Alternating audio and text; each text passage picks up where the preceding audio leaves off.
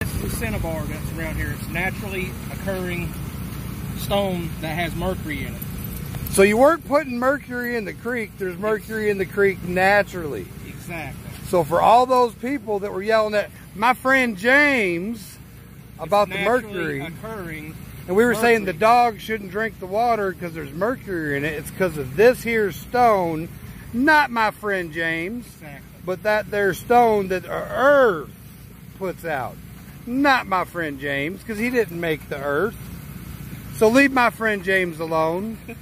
make fun, make, get mad at the earth, not my friend James. Look at that. That's cinnabar, people. For those of you that are uneducated, this rock is how they make mercury. So get to learning before you start to crying. And this is brought to you by Jericho and Hercules. Now you learned something.